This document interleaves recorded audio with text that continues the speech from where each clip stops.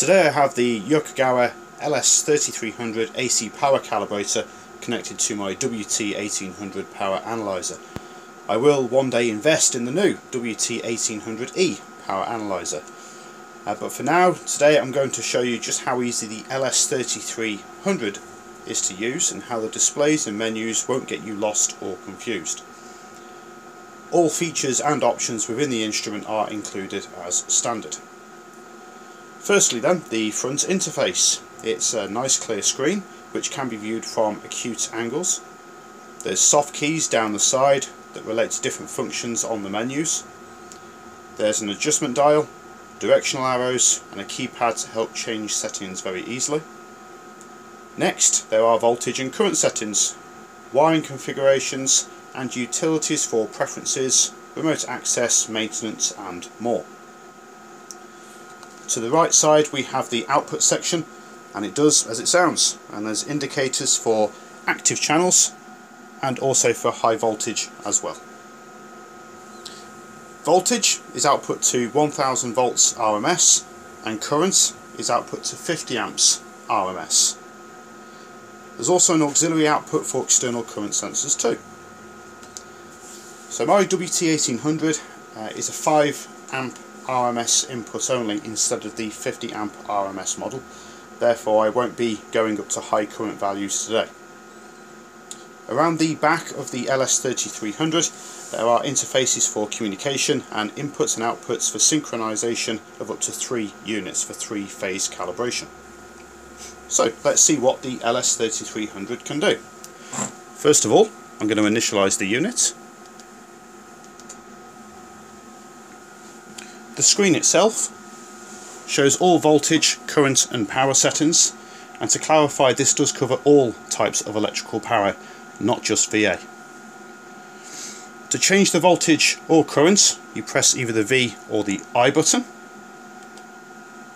The ranges themselves go from 1 volt to 1000 volts. The level allows you to set the output level. If I change this output level to 100 volts, output on, the 1800 will auto adjust because I have it on auto ranging to 100 volts. Same with the current as well. So the current ranges from 30 milliamps and 100 milliamps all the way up to 50 amps RMS. There's also external current sensors as well. I'll go to 1 amp and set the level there to 1 amp. The auto ranging happens and we have 1 amp on the WT1800.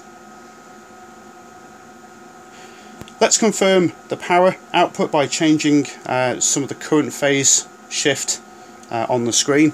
Let's see how we can change that here. So I change this, let's say to minus 60, a power factor of 0.5, it says power factor 0.5 and by the very nature of how we calculate active power voltage times current times your power factor or your phase shift you get 50 watts which is to be expected. We can actually change the power factor as well to show leading or lagging values.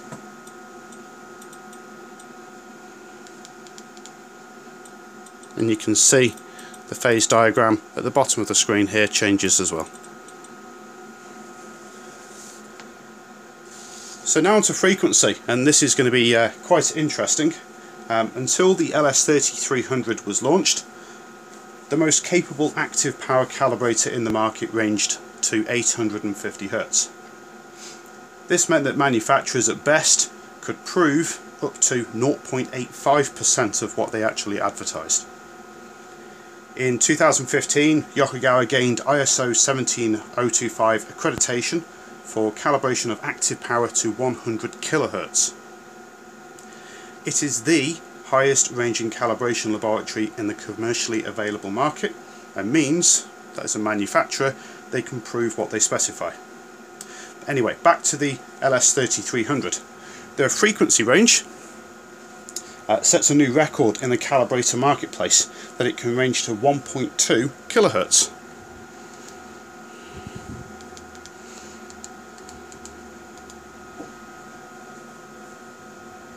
And even at 1.2 kilohertz the 1800 remains stable.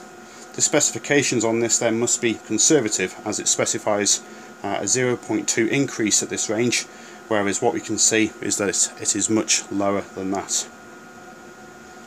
What happens if we increase the current to 5 amps which is the range on my meter?